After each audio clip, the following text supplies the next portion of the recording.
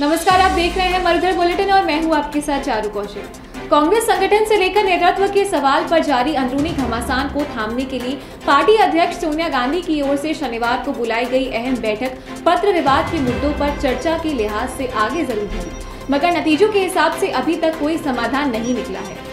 Party high command ने कांग्रेस की दशा दिशा सुधारने के लिए चिंतन शिविर बुलाने जैसे सुझावों को तत्काल मान लिया।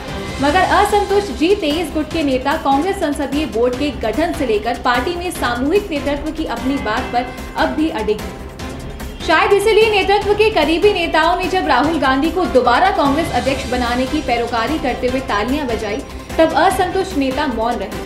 मगर इस पर ऐतराज जताने से परहेज किया।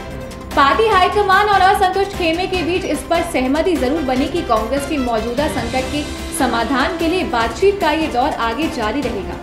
नेतृत्व को लेकर लंबे समय से जारी असमंजस के साथ कांग्रेस की कमज़ोर होती ज़मीन पर असंतुष्ट गुट के नेताओं के पत्र विवाद के बाद 10 जनपद में सोनिया गांधी ने पहली बार इन नेताओं के साथ पाँच घंटे की लंबी बैठक की। सूत्रों के अनुसार बैठक में असंतुष्ट खेमे की अगुवाई कर रहे गुलाम नबी आज़ाद ने आखिर में कहा कि बेशक पत्र में उठाए गए मुद्दों पर चर्चा शुरू हुई, मगर उनका समाधान निकलना बाकी है। बैठक में असंतुष्ट खेमे से आनंद शर्मा, मनीष तिवारी, विवेक तनखा, शशि थरूर और हाईकमान के निकट नेताओं में से हरीश रावत, पवन बंसल भक्त चरण दास आदि शामिल हुए। फ़िलहाल इस खबर में इतना ही। देश और दुनिया की तमाम बड़ी खबरों के लिए आप देखते रहिए मर्धर बुलेटिन। नमस्कार।